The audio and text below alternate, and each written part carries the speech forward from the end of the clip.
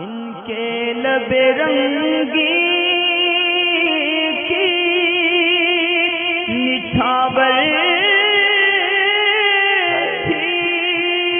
कि जिसने और अगला सवाल भी कुरान खानी से रिलेटेड ही है कि जो ये बच्चे पढ़ने के लिए मस्जिद मदरसे के आते हैं तो इसमें सजदा वगैरह ये लोग नहीं करते। तो ऐसी सूरत में सजदे का क्या हुक्म है? देखिए, कुरान खानी के अंदर जो बच्चे पढ़ने आते हैं तो जो ये सजदे की आयतें पढ़ेंगे तो ऐसी सूरत में इनको सजदा करना वाजिब है। अलबत्त इतना ज़रूर है कि वो सजदा जो तिलावत का होता है, उसको फ़ौर करना वाजिब नहीं है। मगर बेहतर ये है कि अगर कोई चीज़ माना नहीं है, रुकावट पैदा नहीं करती तो सजदा फ़ौर कर लेना चाहिए। वरना ये कि सजदा वाजिब तो है, अब चाहे वो वापस मस्जिद या मदरसे या घर जाकर करेंगे तो भी अदा हो जाएगा और अगर करेंगे ही नहीं तो वो शख्स गुनागार होगा अगर वो पढ़ने वाला बच्चा बालिग है और उसने सजदाए सजदे की आयत पढ़ी है, ख़ुद तिलावत करी है तो ऐसी सूरत में वो शख्स गुनागार होगा अगर वो सजदा नहीं करता।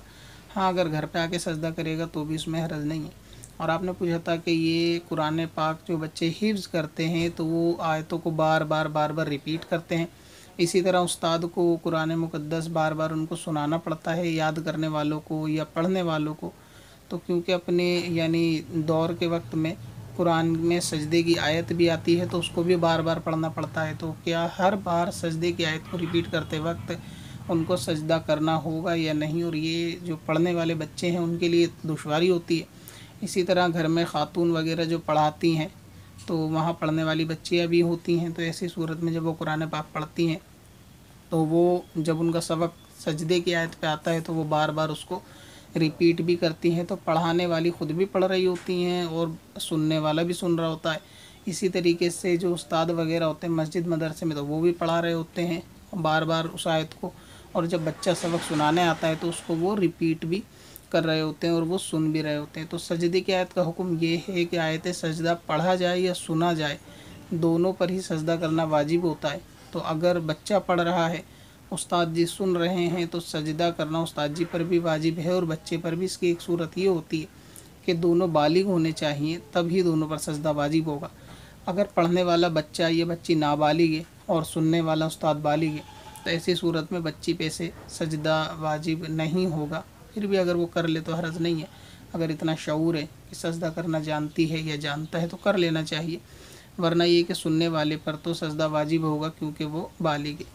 इसी तरह घर में पढ़ाने वाली ख़वातीन के लिए भी है कि अगर उन पर आने वाली छोटी बच्चियाँ नाबालिग हैं और वो आयत सजदा के सबक पर हैं तो उसको बार बार रिपीट करते वक्त उन पर तो सजदा वाजिब नहीं होगा, मगर सुनने वाली पर सजदा वाजिब होगा तो इसको बाद में सजदा कर लेना चाहिए। अब ये कि आयत सजदा को बार बार पढ़ेंगे रिपीट करेंगे तो उसमें कितनी मरतबा सजदा करना होगा? कभी ऐसा होता है कि हिफ्ज़ करने वाले होते हैं तो आधे आधे घंटे तक भी उनको उस वर्क को बार बार याद करना पड़ता है तो उसमें कई मरतबा सजदा की आयत से गुज़रना पड़ता है। तो इसमें हुक्म यह होता है कि एक ही मजलिस के अंदर, एक ही मजलिस के अंदर एक मरतबा आखिर में सजदा कर लेना काफ़ी है। हर बार सजदा करने की उसमें ज़रूरत नहीं होती। उनके लिए कि जो शख्स हिफ्ज़ वगैरह करते हैं, उस आयत को बार बार रिपीट करते हैं। यही हुक्म उनके सुनने वाले के लिए है कि अगर उस्ताद एक सबक सुनने के लिए बैठे हैं और उस पर बच्चा सबक सुनाने आया, अब वो आयत सजदा को बार बार बार बार अगर रिपीट करेगा तो वो एक ही मजलिस है यानी अभी एक टर्म है तो ऐसी सूरत में एक ही बार सजदा वाजिब होगा और वो पढ़ाने के बाद आखिर में सजदा कर सकते हैं। कुरान का सजदा फ़ौर करना वाजिब नहीं होता, इसलिए वो बाद में भी कर सकते हैं, अगले दिन कर सकते हैं, शाम को कर सकते हैं। जब कोई चीज़ उसमें रुकावट पैदा ना करे, सजदे में वज़ू वगैरह कर लें तो ऐसी सूरत में बाद में सजदा किया जा सकता है। अब यह कि मजलिस उस चीज़ का नाम है कि जैसे बच्चे ने सबक सुनाया और अपना कुरान शरीफ लेके उस्ताद के पास से मदरसे के दूसरे कोने में जाके बैठ गया तो इसको मजलिस बदलना भी नहीं बोलेंगे। मजलिस बदलना वो होगा कि जैसे बच्चे ने तीन लुक में से अगर ज़्यादा खा लिए, मसलन ये कि कुरान शरीफ रखा और खाना खाने चला गया तो अगर एक लुकमा चखा है, दो चखे हैं तो भी मजलिस बदलना नहीं कहेंगे। मगर ये कि तीन या उससे ज़्यादा खाए तो फिर वो खाना खाने में शुमार हो जाएगा तो उसकी मजलिस बदली हुई मानी जाएगी कि अब वो पढ़ाई इस हट के खाने में लग गया। तो फिर अब दोबारा अभी आए थे सजदा पढ़ेगा तो सजदा वाजिब होगा। मजलिस से मुराद ये कि जैसे अगर बच्चा कुरान पाक पढ़ रहा है अभी सबक तो वहाँ बैठ के मदरसे में वो चाहे पूरे दिन पढ़ता रहे तो भी उस सूरत में वो एक ही बार सजदा करेगा काफ़ी है। लेकिन अगर पढ़ते पढ़ते बीच में मदरसे से निकल के अपने घर चला गया, टॉयलेट वगैरह के लिए, घर जाके कुछ खा पी लिया या बाहर खड़े हो गए मदरसे से, बच्चों से बात कर ली, फिर वापस आ गया तो अब जब दोबारा सजदे की आयत पड़ेगा तो फिर इसको दोबारा सजदा करना पड़ेगा। इसी तरह अगर मदरसे के अंदर ही है और एक कोने से दूसरे कोने में जाके बैठता है तो ऐसी सूरत में मजलिस बदलना नहीं कहेंगे। या फिर इस तरह बाहर गया, पानी वगैरह पी कर आ गया तीन घूट से ज़्यादा पी लिया, या खाना वगैरह तीन लुकम से ज़्यादा खा लिए तो ऐसी सूरत में मजलिस बदल जाएगी।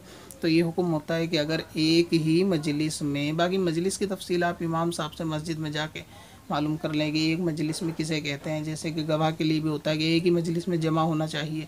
मतलब जहाँ पे मामला चल रहा होता है, उसी एक मजलिस को महफिल के अंदर वो होना चाहिए। तो इसी तरीके से अगर वो एक मजलिस में बैठ के कितनी मरतबा कुरान की आयत को पढ़ दे, सजदे वाली को याद करने वाला एक सजदा काफ़ी है। पढ़ने वाले, पढ़ाने वाले दोनों के लिए और मजलिस बदलने के बाद हर बार सजदा करना होगा। अच्छा आयत सजदा किस तरह सजदा किया जाता है? आयत का कुरान पाक में सजदा होता है। उसके लिए मैं पहले एक वीडियो बना चुका हूँ। उसका लिंक नीचे डिस्क्रिप्शन के अंदर डाल दूँगा वीडियो के अंदर। वो आयत है एम थ्री में। अगर आयत सजदा सुनी तो सजदा वाजिब होगा या नहीं, ये वीडियो होगी। आप उसको यूट्यूब पर सर्च कर सकते हैं। Sikandar Warsi about M P three आयत सजदा। इस तरीके से सर्च मारेंगे तो वीडियो आ जाएगी। तो उसमें तरीक़ेकार पूरा बता रखा है कि सजदा किस तरह होगा। और सजदे के लिए खड़े होकर ही जाना, वापस फिर से खड़े होना ही ज़रूरी नहीं है। मगर ये कि बेहतर यही है, मुस्तहब यही है कि ऐसा किया जाए। बाकी अगर सजदा बैठ कर भी कर लिया जाएगा तो सजदा जो है वो हो जाएगा। उस वीडियो को आप नीचे डिस्क्रिप्शन के अंदर लिंक है, उसको एक बार ज़रूर देख लीजिए तो उसमें आपको सजदा करने का तरीका मालूम चल जाएगा। पत्थर में पुरनवा